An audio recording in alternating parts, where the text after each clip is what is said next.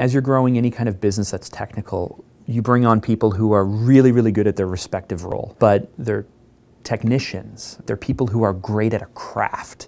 And being great at a craft and being able to translate that into business, sometimes there's challenges with that. Some people are great at the office culture and they're great at the office stuff and the project management stuff, but, but then they don't have a craft. And so we see this whenever you're dealing with trades, whenever you're dealing with uh, more kind of technical roles or technicians. Transitioning into a corporate or office space can be a challenge. So when I was growing the team, uh, I found that we were, we were constantly bumping into the same things. And so I, I developed these five points, these five questions for an extraordinary experience because ultimately as I looked at the different team members, I thought, gosh, like we're all running into the same challenges. So the five points, they're simple. So perception is truth.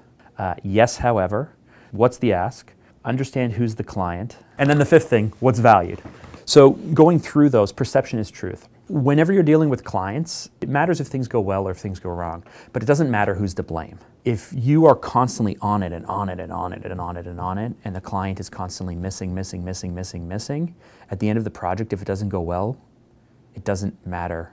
You can't go back to the client and say, client, you totally messed this all up. If you're late for stuff twice, then people go, this person's late.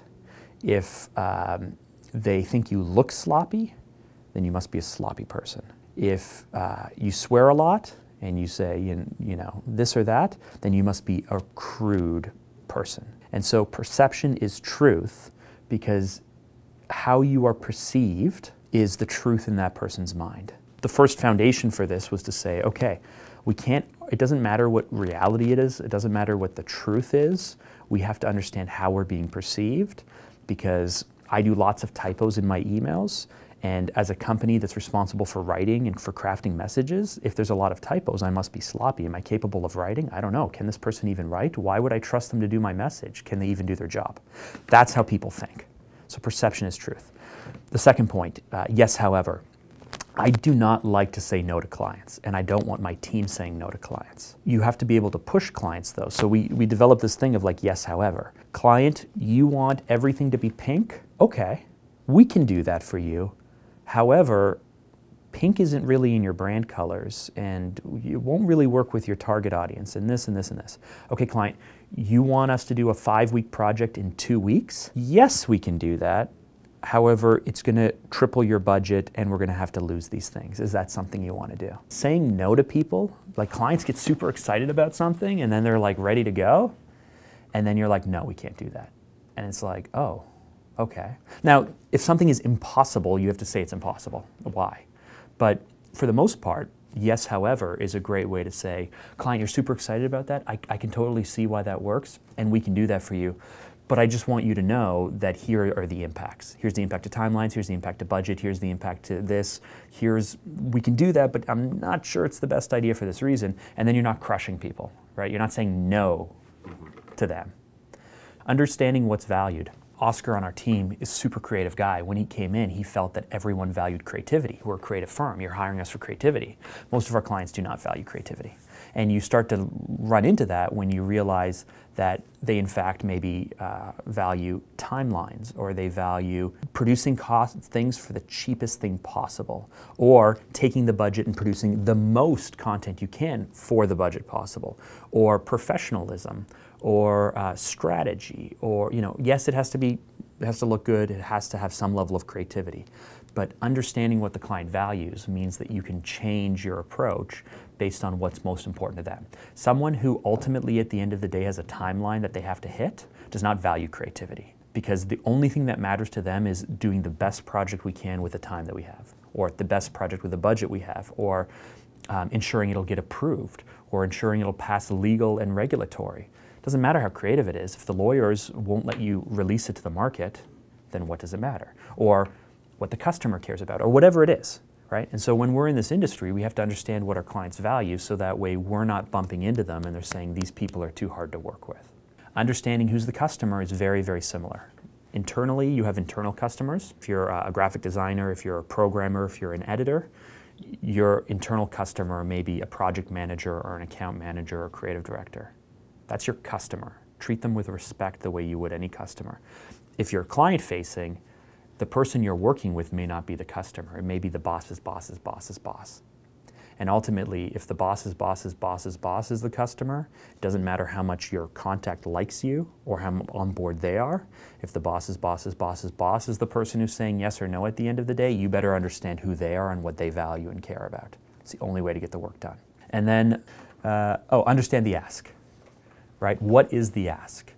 People rarely ask for what they really want. Hey, um, is that the final version of this?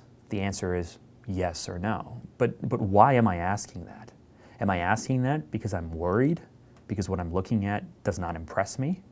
Am I asking that because I need this to go out tomorrow and I want to know where we are in the project? When a client comes and says, Can we make a video shorter? Are they asking because it has to be shorter because they have to release it within a 30 or 15 second window and, and that's what it has to be? Or are they asking because it feels slow?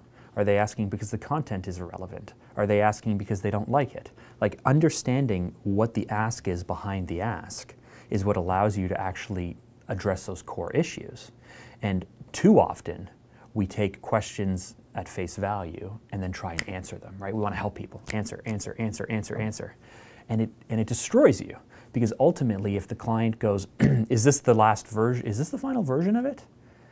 and you're like, uh, uh, "No, uh, we have two more versions. We're working on this. We're changing this and this and this." But really, they're asking because they're worried about running out of budget, or they're asking because their timelines, or they're asking because they're disappointed in it. You're not addressing any of those issues by answering the question those five things, you know, understanding the ask, perception is truth, knowing what they value, understanding who the client is, and then saying yes, however, was a foundation that we developed just to help us be better project managers, better uh, deliverers of creative, and ultimately have a better client experience.